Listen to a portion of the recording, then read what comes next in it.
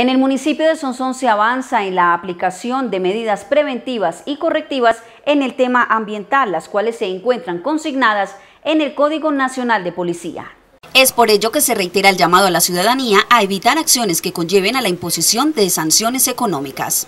La invitación a la comunidad del municipio es a que por favor se abstengan de realizar quemas en vía pública, en zona urbana, en zona rural, ¿Por qué? Porque estamos realizando los comparendos en aplicación al nuevo Código Nacional de Policía, la ley 1801.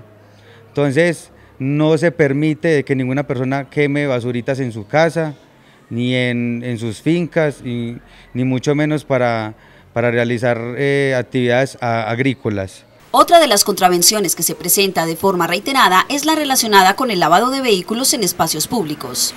Entonces la invitación es a que por favor no hagamos estas infracciones que están afectando la convivencia y seguridad ciudadana del municipio, porque para eso existen unos sitios en el municipio que están autorizados para realizar esta actividad de lavado, los que son los lavaderos públicos del municipio, y que ellos tienen una, eh, un permiso por parte de la autoridad ambiental, que es Cornare, para captar el agua y poder realizarla en este tipo de actividades.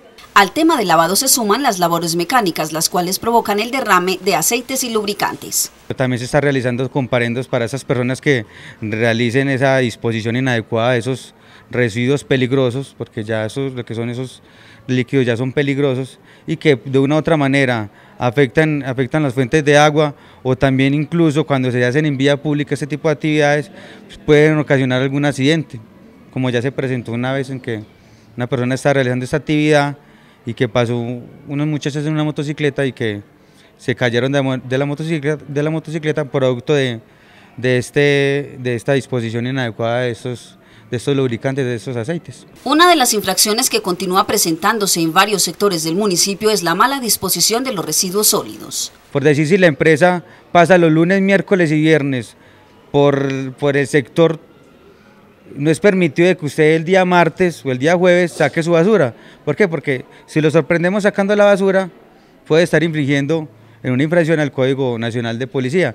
Al igual que esas personas que realicen la, disposición de, de escombros, arenas en vía pública, no está permitido realizar esta actividad.